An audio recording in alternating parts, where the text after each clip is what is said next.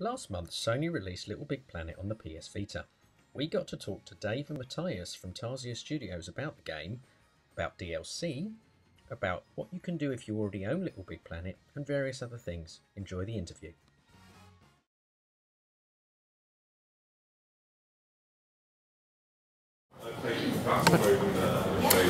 Okay, so my name is Matt, and I'm the executive producer at Tarsier Studios Sweden. Uh, hi, I'm Dave. I'm the narrative designer at Tarsier Studios in Sweden. Right, so tell us about the game we're here to see today. Okay, uh, I'll take that one. Uh, yeah, this takes place on a planet called Carnivalia, um, which is uh, under the control of a, a, mysterious figure known as the Puppeteer. Uh, and now he's using that planet to, to create joy across the universe, uh, only to steal it for himself. Uh, and, and, it's down to Sackboy to discover why and discover the identity of this mysterious figure. So the uh, this mysterious figure, the puppeteer, would that be the same mysterious figure, the puppeteer, from the new forthcoming game, The Puppeteer? No. no. I only found out about that at Gamescom as well. No. right, so that's that line of questioning out the window. Um, so you, it's set on a new world. Tell us a little bit about the, more about the world.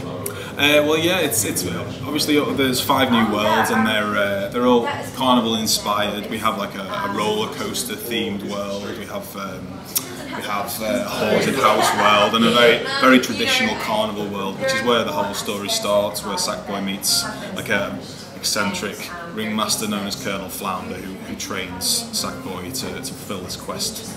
Uh, all the characters uh, are pretty crazy. It's you know tr tradition in Little Big Planet, really. So. Uh, so yeah, uh, I wouldn't want to spoil too much of the surprise. Though hopefully, this story is still a surprise for for people when they get to the end. So. Excellent. Uh, talk about some of the multiplayer options in uh, in the game. Mm, so we have uh, four player online multiplayer, and you can play thanks to 3G and Wi-Fi. You can play anywhere with your friends, and you also have a near functionality, which allows you to then uh, challenge friends or, or, anyone really in the vicinity. You know, if you think you're really good in the level, you know, you can leave that as a challenge for anyone that comes along. And um, obviously, you can also download community levels that has been created. If you would, you know, end up in a place where you wouldn't be connected in a, an aircraft, for example, you download levels before and you know play them offline. And so this is some of the some of the, the, ways you can play with others, but you can actually also play on the same device. We have a couple of mini games where you actually play like a, like a hockey game and a boxing game where you actually you know, play on the same device together. Excellent. Um, talk about some of the customization in the game because obviously it's an incredibly customizable game. So uh, tell us a little bit about that. Yeah, with the with the camera functionality of the Vita, you know, you can literally wherever you are, you can just if you see something cool like this very lovely leopard print cushion, uh, you can take a picture of that and save that out as a sticker, uh, and then bring that into your game and really personalise whether it's something that you've created yourself or if it's you know if you want to pimp up our story levels as well you know you, I think we've shown videos of us uh, defiling the face of our community manager Simon with fried eggs.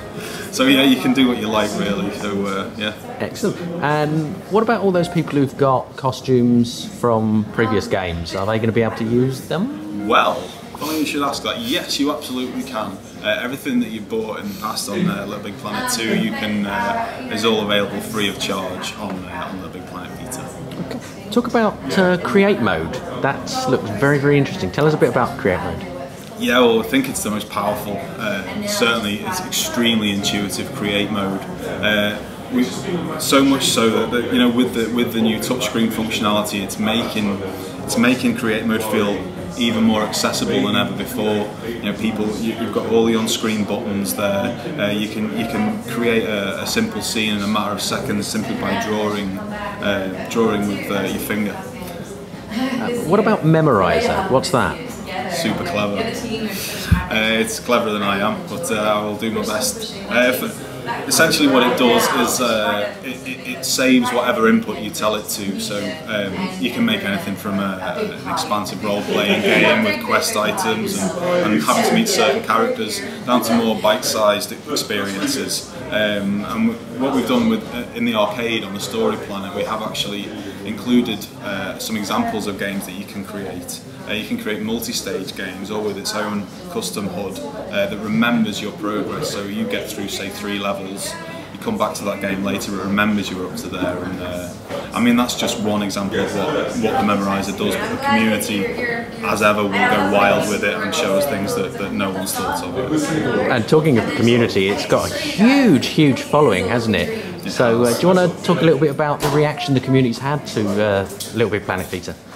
Yeah, I think I mean so far it's been great, and I mean we have we brought in a lot of the community uh, to the company as we started out. I mean because we weren't we had done costumes before, you know, for helping Media Molecule, you know. So we, we knew we needed the best people on the job, so we recruited some people straight from the community, and they just went in and and that's also the reason we, we, we could we knew that we were doing the right thing because they went into you know creating the create mode, enhancing tools etc. Because they knew what they had been lacking before in the create mode, so they've been you know helping out a lot. And on top of that, we also had game jams where we brought in some of the people you know to get early hands on and try and come with feedback so we could adjust the tools you know to their liking before we actually released the game. Well, obviously, the Vita brings some uh, unique qualities to the game. Has it brought any unique challenges to the development? I think from the beginning it was the, the simple fact that uh, the Vita didn't exist when we got the job. So it was, That would do it. that would do it. So would you want to take over one of the biggest franchises uh, that's going to be on a new device that doesn't exist? That was the that was the question we got, you know, a little over two years ago. Now. To which you obviously said yes. Yes, Let's do it. Of course. And obviously, looking at the game, it's uh, it's a lot of fun. It's a really good game. Excellent job. Thanks very much. Um, so, most important thing, when's it out? Next week, isn't it? September the 19th, the game comes out. Excellent. And are there any plans for new DLC that you can talk about, or uh, is that kind of a bit under wraps? There's nothing announced yet, no, but uh, as you've seen in past Little Big Planets, then uh, traditionally there is support and DLC, so perhaps. Thanks a lot, guys. Thank you. The amazing Little Planet world. That was a little bit of excitement, wasn't it?